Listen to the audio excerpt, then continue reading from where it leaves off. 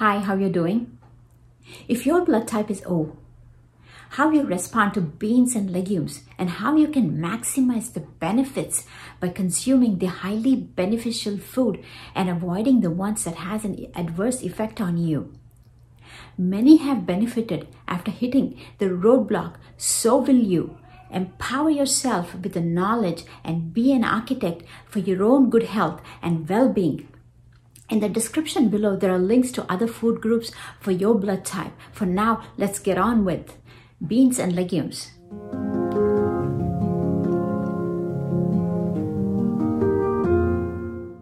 As blood type O, you don't utilize beans particularly well. It inhibits the metabolism of other more important nutrients, such as those found in meat, and a number of them contain lectins that are harmful to your type. There are a couple of highly beneficial beans that are exceptions, and actually, they strengthen the digestive tract and balance your microbiome diversity. However, you should eat beans in moderation as an occasional side dish. The highly beneficial foods do good to you. You need to be eating them. Highly beneficial beans and legumes are adzuki beans and black-eyed pea. The neutral list of food neither do good nor bad, as the name goes neutral.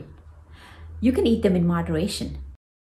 The neutral list of beans and legumes are black bean, broad bean flour, butter bean, butternut, cannellini bean, garbanzo beans, chickpea, great northern bean, green bean, haricot wort, jicama, lima beans, mung beans, sprouts, natto, peas, green, yellow, and snow, snap bean, soybean, soybean cheese, soybean granules, lecithin, soybean meal, soybean sprouted, soybean tempeh, soybean tofu, soy flakes, soy milk, soy miso, string bean, white bean, and yellow bean. The ones with key upward arrows are black bean, butter bean, butternut, great northern bean, jicama, natto, soybean tempeh.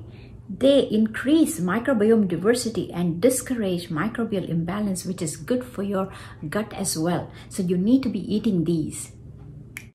The avoid list of foods don't really do any good to you.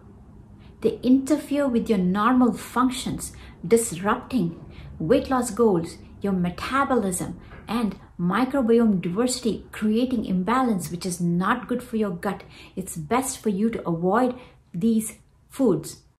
The avoid list of foods are copper beans, kidney beans, lentil all types, lentil sprouted, navy bean, pinto bean, pinto bean sprouted, soya bean pasta, and tamarind bean. Out of these, the ones with key downward arrow are copper bean, kidney bean, lentil all types, navy bean, pinto bean, and soya bean pasta they decrease microbiome diversity and encourage microbial imbalance. They don't even do good to your gut health. You need to be strictly avoiding these.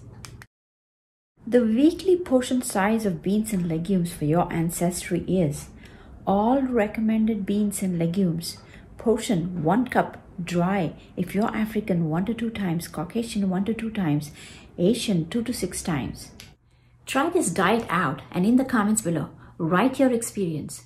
The next video is going to be on grains and cereals. I publish my videos on Fridays, 8 a.m. Pacific Standard Time. Don't forget to share this video. Stay healthy, be fabulous, and see you in my next video. If you are new to my channel, subscribe. Hit the notification bell for new videos. If you like the video, give me a thumbs up and write comments below.